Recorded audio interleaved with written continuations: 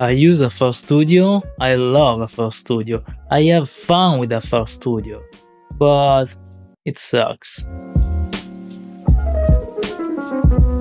Today I want to talk about performance. With Reaper I can load lots of plugins, the trick is made by anticipative effects, a very cool option inside Reaper. But it's not just about that. Reaper also have a better threading performance.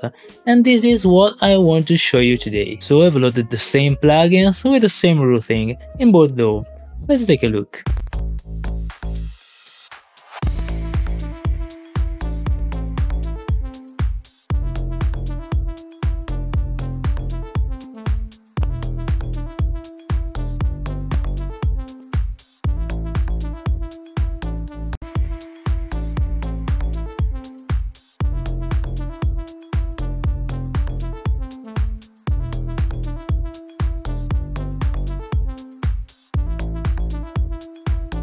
Well, as you saw, I wasn't able to achieve that, cause uh, I had to give up earlier with FL.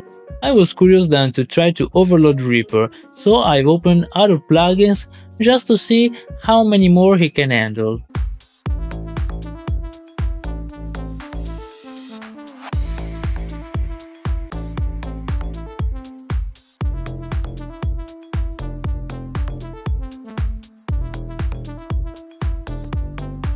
Yep, it's a lot more. 40 max for FL and 121 for Reaper, 3 times more. Anticipative effects, it's a good mod, but it's not all about that. As you may have noticed, when we use buses, FL Studio collapses into the bottleneck of single thread processing, while Reaper have a better thread management. So I hope Image-Line will start to do something about that. Because lots of people here care about performance, no themes. In their forum there are already topics about that, where someone show other performance comparison, but till now they don't seem to care about it, and it's a shame. Also because the workflow is missing along other stuff I like more. Let me know what DAW do you use and what's your thought about this topic. See you in the next one. Ciao.